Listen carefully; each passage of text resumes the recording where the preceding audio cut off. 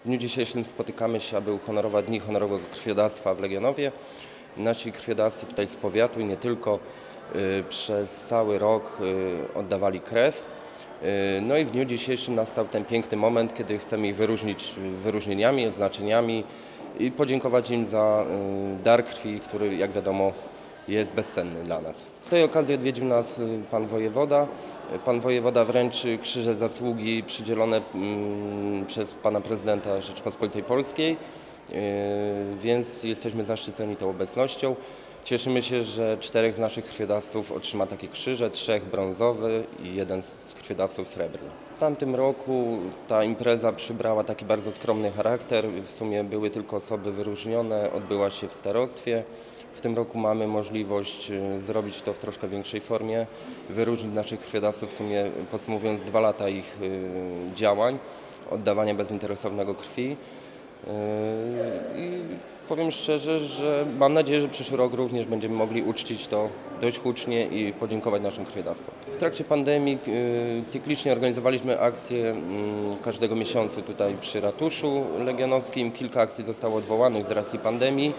Y, Wiadomo, weszły większe obostrzenia, ale krwiodawcy zawsze dopisywali. Nie było jakoś tak, żeby nasi krwiodawcy wycofywali się i nie chcieli przychodzić na akcje. Zawsze mamy spore grono krwiodawców, jest dużo chętnych, za co serdecznie dziękuję krwiodawcom. Nasze akcje są organizowane głównie w soboty. Także y, pomimo tego, iż zostały wprowadzone dwa dni wolnego za oddaną krew, y, na każdej akcji mamy przynajmniej tych 35 krwiodawców, którzy oddadzą krew. Yy, Wiadomo, że chętnych jest więcej, ale część osób jest odrzuconych, odpada z różnych y, przyczyn i powodów, wiadomo, problemy zdrowotne itd. itd.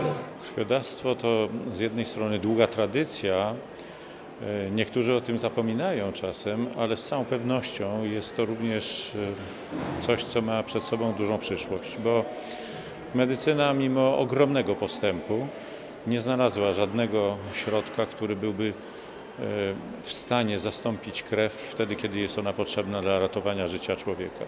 Stąd ta idea oddawania krwi jest tak ważna, e, no bo po prostu jest to lekarstwo dla niektórych, którego nie da się niczym innym zastąpić.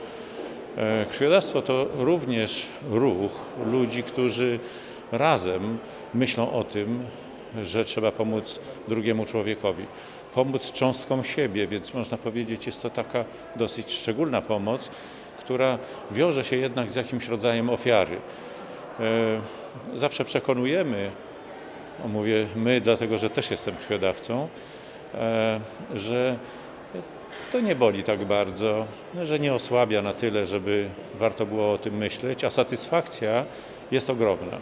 Dzisiejsze święto to święto tych, którzy są w pewnym sensie rekordzistami. Rekordzistami zarówno e, jeśli chodzi o organizację krwiodawstwa, ale również jeżeli chodzi o ilość oddanej krwi.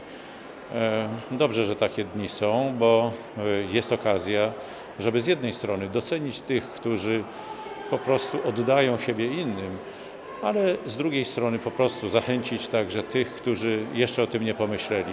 Warto zostać krwiodawcą, warto podzielić się sobą z tymi, którzy tego potrzebują.